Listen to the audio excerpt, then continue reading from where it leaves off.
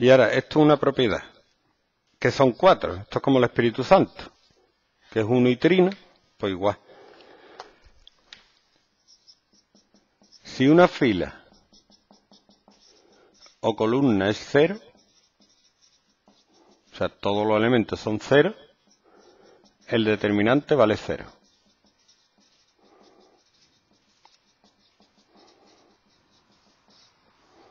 Eh, 2, 1, 0, 0. Esto es 0 por 0, 0 menos 0, 0.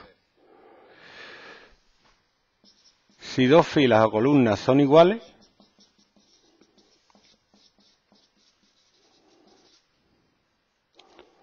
columnas son iguales, el determinante es 0. Por ejemplo, 2, 1, 2, 1. 2 por 1 es 2 menos 2, 0. ¿Cómo te ha quedado? ¿Por qué? Porque yo puedo reducir esto haciendo Gauss. Resto esta fila menos esta. O sea, hago la segunda fila menos la primera. Y me quedaría 0, 0. Y como lo determinante es 0, es 0.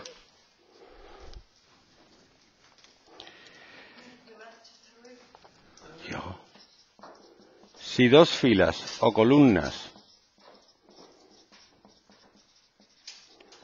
son proporcionales, el determinante es cero.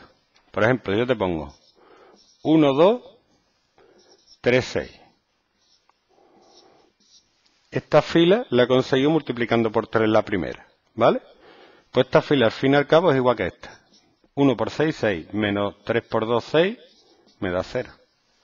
¿Por qué? Porque haciendo Gauss yo podría hacer reducir la segunda fila haciendo F2 menos 3F1. 3 menos 1 por 3, 0, y 6 menos 2 por 3, 0. Me quedaría 0, 0, y como lo determinante de una fila es 0 es 0, pues esto también es 0.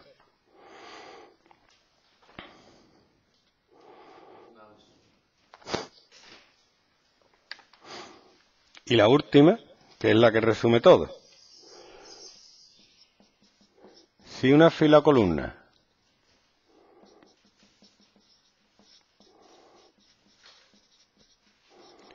es combinación lineal,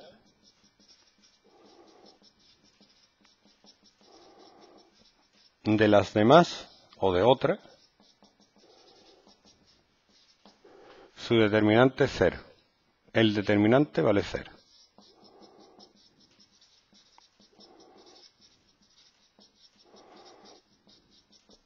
Aquí solo se puede probar con una de 3x3. Por ejemplo, imagínate que cojo una fila, yo qué sé, 1, 2, 0, eh, 3, 0, 4, y la tercera fila la formo sumando estas dos. Una combinación lineal es multiplicar una fila por un número y sumarle otra por un número. 1 más 3, 4, 2, 4. El determinante de esto da 0. ¿Qué te ha puesto? Esto es 0. Por 4, 32. Más 0. Era esto. 1 por 0 por 4. Más 2 por 4 por 4. Más 3 por 2 por 0. Menos 4 por 0 por 0. 4 por 2 por 1. Menos 3 por 2 por 4. Esto es 32 menos 8 menos 24. 0. Y ya está.